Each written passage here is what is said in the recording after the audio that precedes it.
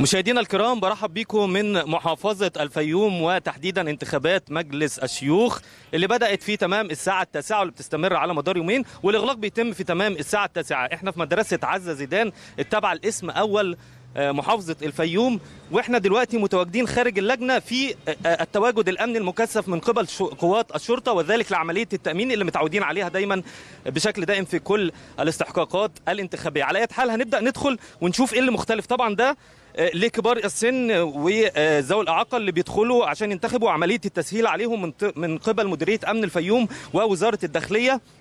التأمين متواجد في الداخل وكل ما هو جديد بيظهر من خلال بوابة التعقيم الإلكترونية المتواجدة. آه، على مدخل المقر الاقتراع.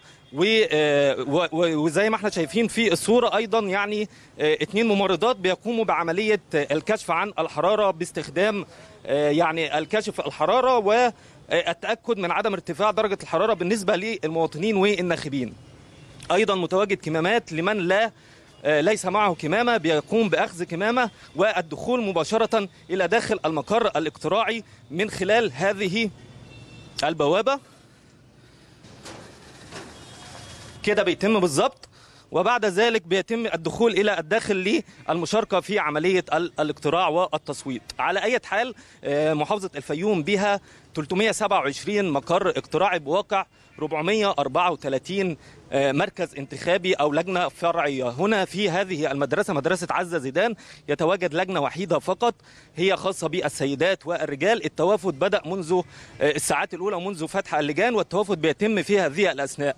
ما تغير في الداخل هو آه، عدم وجود الحبر السري وذلك للإجراءات المشددة الخاصة بكورونا وأيضا ارتداء كامل أعضاء اللجنة في الداخل للكمامات وأي حد ما معهوش كمامة بيتم أخذ كمامه زي ما إحنا بننقل الصورة دلوقتي.